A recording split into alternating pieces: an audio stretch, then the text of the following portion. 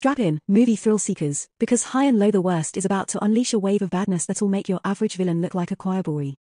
This J movie isn't just about pushing the envelope, it's about shredding it to pieces and then using those pieces to craft a leather jacket for the ultimate badasses.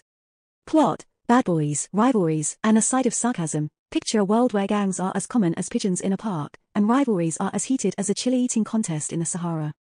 Now throw in a twist that's twistier than a pretzel in a yoga class, and you've got a plot that's more convoluted than a GPS trying to navigate a labyrinth. Cast, charisma and conflicts collide. Say hello to a cast that's so cool, they could ice skate in a volcano. From the brooding leaders to the rebellious renegades, each character seems to have a PhD in looking effortlessly stylish while throwing punches. It's like a gathering of fashion-forward fighters who moonlight as drama kings.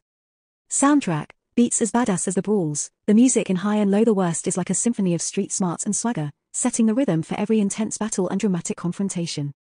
It's as if the composer